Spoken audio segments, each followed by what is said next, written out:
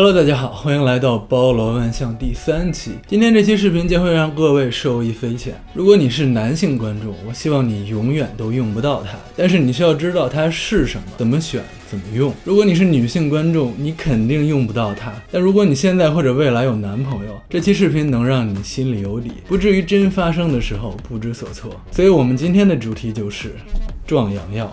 让我们正式开始。Thank you. 和上一期实体娃娃的情况很类似。说到壮阳药或者伟哥，没人不知道它指的是啥，而且还会有点羞于启齿。但所谓的壮阳药是一个非常笼统、容易误导人的概念。在医学领域，我们理解里需要被壮阳的问题。科学点的说法就是性功能障碍。根据维基百科的说法，性功能障碍包括唤起障碍、疼痛、控制射精能力障碍等等很多种。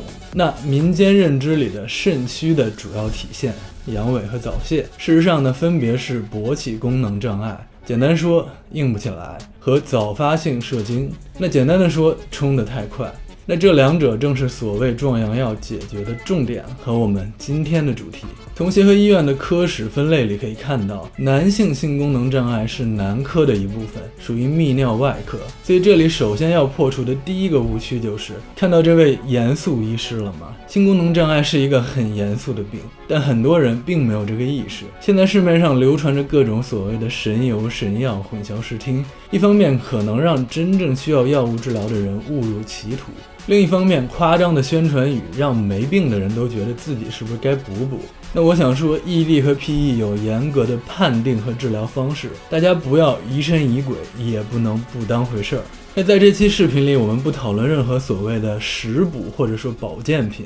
而是做一个针对 ED 和 PE 药物的小科普，得益于伟哥这个非常精妙的翻译，这个蓝色的小药片广为人知，而且呢，它确实是一个比较成熟的药物。但是有多少人知道它的有效成分是西地那非呢？又有多少人知道西地那非治的是 PE 还是 ED 呢？今天我们准备了四种产品，其中伟哥即西地那非和西艾利都是治 ED 的，即硬不起来的时候用；必利劲和人。出游是针对 PE 的，即冲得太快的时候用。所以说，如果你考虑过买任何一种壮阳药，第一，不要买花里胡哨的保健品；第二，先弄清楚不同的药是治什么的。那如果是 PE 的话，吃伟哥是一点用没有的。那反之，如果是 ED，你吃再多的必利劲也硬不起来。那另外提一句，这三种药品的价格分别是：西艾利一盒四片二百一十八，万艾可一盒一片一百二十八，必利劲一盒三片一百九十八。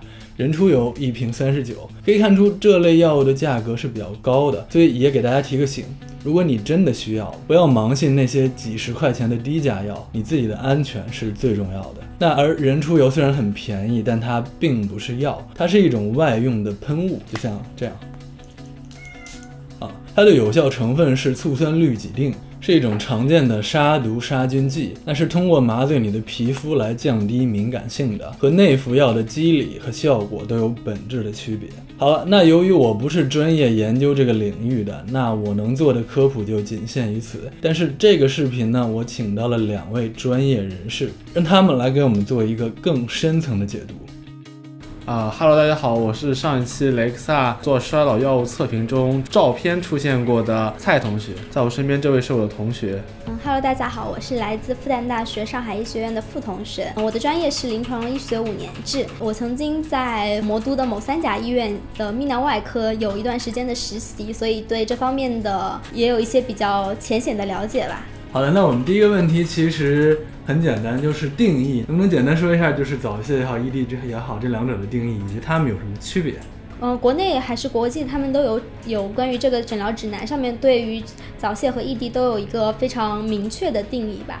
嗯，ED 的话不能够达到勃起，或者是勃起状态不能够达到满意程度，然后整个的时间长度呢是达到三个月以上，就可以诊断为 ED。早泄分为原发性和继发性两种。原发性的话，就是在初次接触的情况中是时间是少于一分钟，然后如果是继发性的话，就是时时间明明显的缩短，然后那个时间。嗯，少于三分钟。然后，不管是早泄还是异地，更强调的话是这一个过程对你的心理和你的生活造成了一些影响，造成了一些心理的负担，或者对你的生活感情有有一些不好的影响，才可以称为是一种疾病。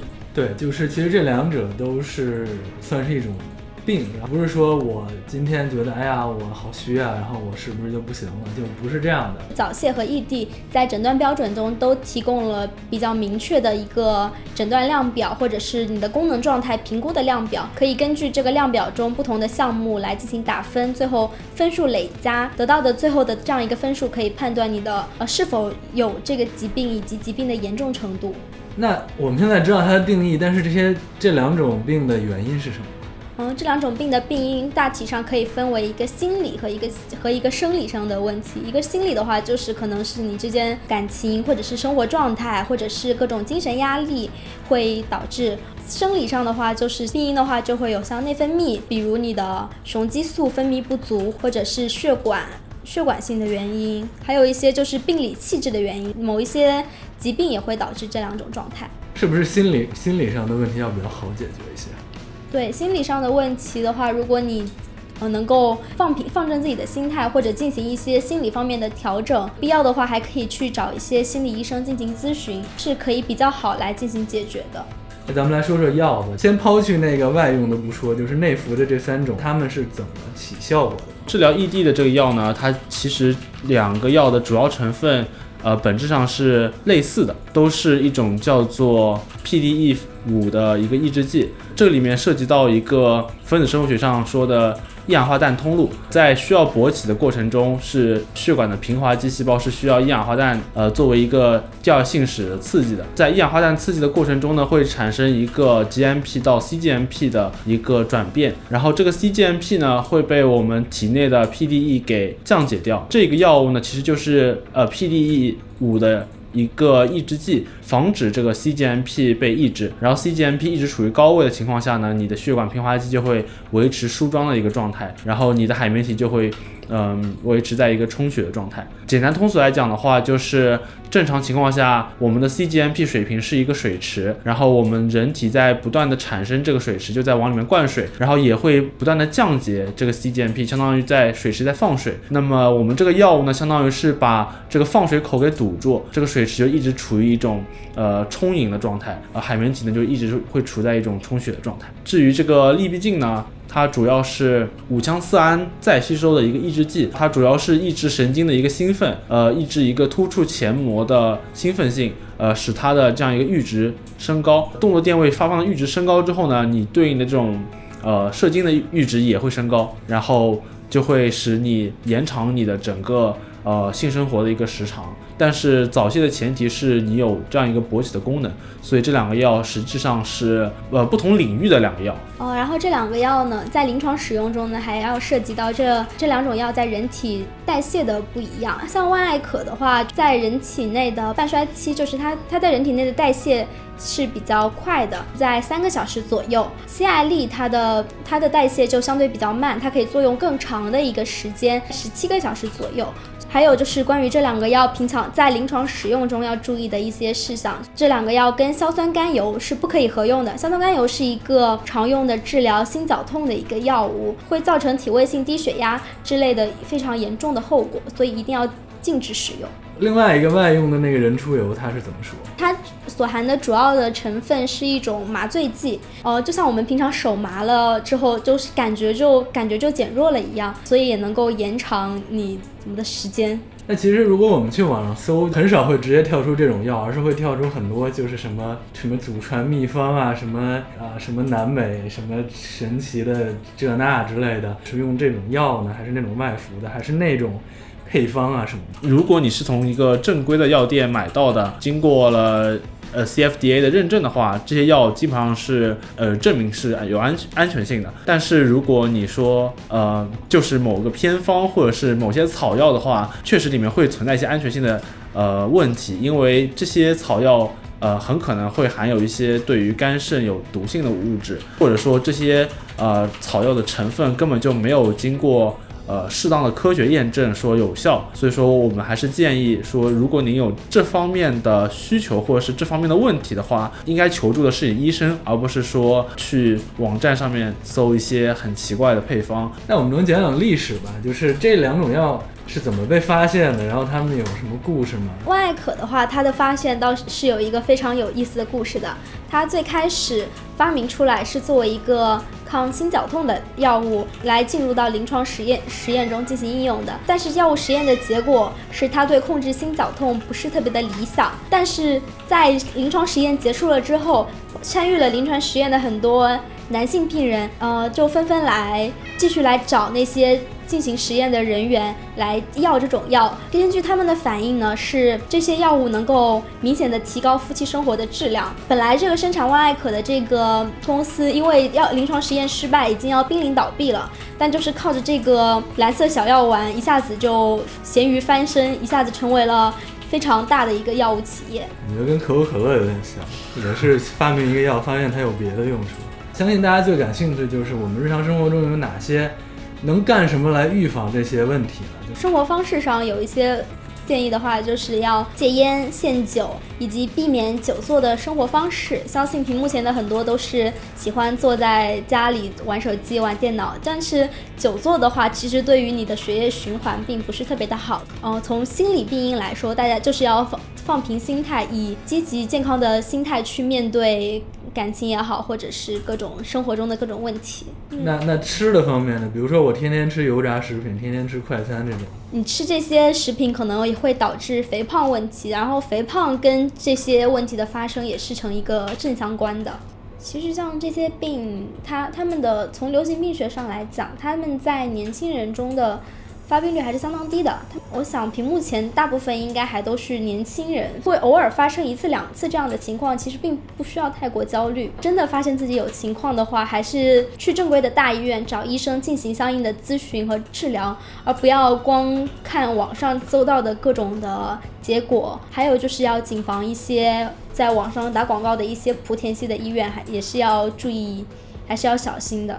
好的，听完刚才的回答，想必各位都对这三种药有了一个更全面的了解。那我已经把检测 PE 和 ED 的量化表格放在了评论区的置顶，那大家可以留一份以备不时之需。那然后我想说，现代医学是建立在长期的临床实践中的，对于有没有病的定义很清楚，不是你自己感觉出来的。另外，就算真的有病，那也有针对性的药物。所以说，我们要做到不盲从盲信。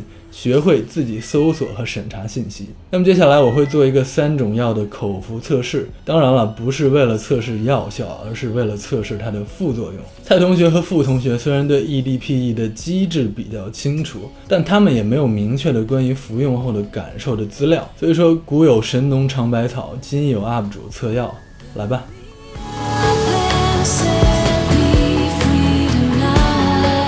好的，开始之前最重要的一件事情就是看说明书，他们每个药都有非常非常详细的说明。文艾可的说明书，规格对于大多数患者推荐剂量为五十毫克，基本上它半个小时就会生效，要每日最多是服用一次。头痛、潮红、消化不良、鼻塞、头晕等等，这些就是不良反应。六个小时之后就基本上代谢完毕了。好，那我们从万艾可开始，它推荐起始剂量是五十毫克，但是这一片是一百，但我觉得我三分之一就好了，我又不是为了要干什么，那我们就简单舀三分之一。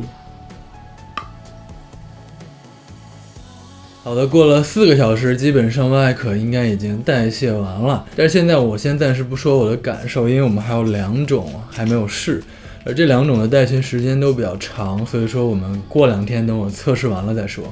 好的，那么过了几天，我们把这三种药都测试了一下，因为要避开它的代谢的时间。然后呢，我在手机上已经把三种感受都记了一下，然后我来给大家介绍一下。那首先是温艾可，那这个的话，它吃下十几分钟之后就。明显有那种你吃了这个药，它才开始发作的感觉。那主要表现在就是它会让你的头有一点胀，然后有一点晕，但是不疼。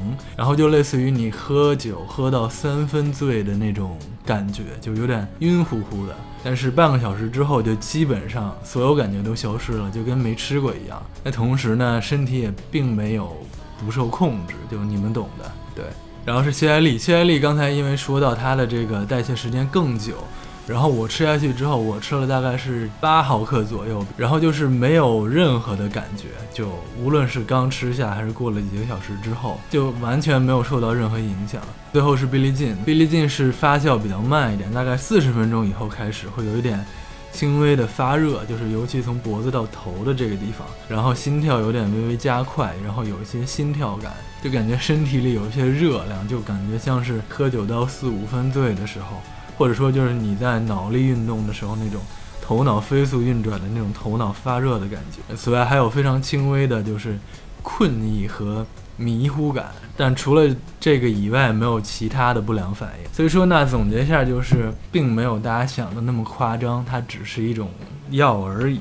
那最后想说的是，就是我这只是一个副作用反应测试。如果大家想知道药效的话，我相信肯定有大神了解过。所以说，你们可以在弹幕或者评论区留言，对吧？但是注意不要开车，对。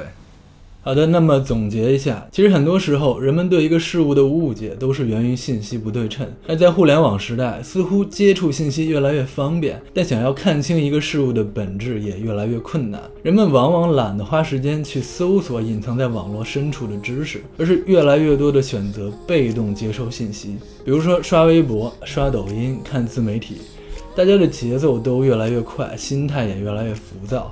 而这些追逐流量的平台会主动提供给大家的，往往只有耸人听闻的标题、片面夸大的推送内容。那这就更导致了像实体娃娃、万艾可这种药物被人误解的越来越深。大家一定要相信一件事情：人类文明能够发展到今天，靠的不是猜测和臆断。而是科学和实践。无论哪个产业，都有许多基础科学、数据和科研人员的支撑，所以产业不存在高低，领域也不存在哪个就比哪个下流。这也是我包罗万象系列选题如此跳跃大胆的原因。不过没有关系，希望大家可以多多支持这个系列。以后我还会给各位带来更多有趣的话题。感谢观看，我们下期再见。